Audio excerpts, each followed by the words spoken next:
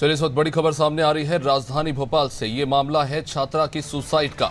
रीवा में एक छात्रा ने आत्महत्या कर ली है।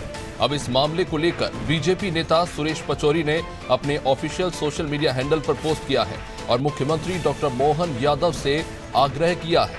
अपने पोस्ट के ज़रिए आग्रह किया है कि मुख्यमंत्री इस मामले को गंभीरता से लें।